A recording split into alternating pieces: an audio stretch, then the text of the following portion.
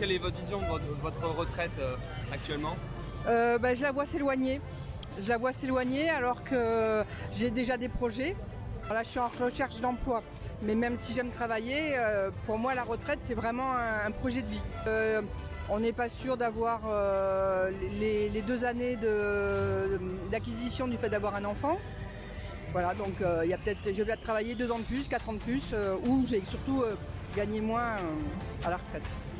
financièrement, ça, va tous nous impacter. Enfin, qu'on nous demande de travailler plus, moi je veux pas travailler plus. Moi je, veux, je voudrais m'arrêter de bosser à 60 ans. Je voudrais bosser 4 jours par semaine.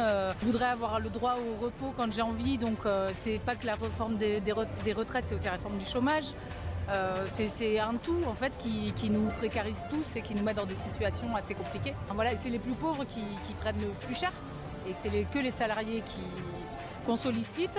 Non, donc dans ce qui est euh, injuste dans cette réforme, c'est aussi que euh, les, les- les entreprises payent rien.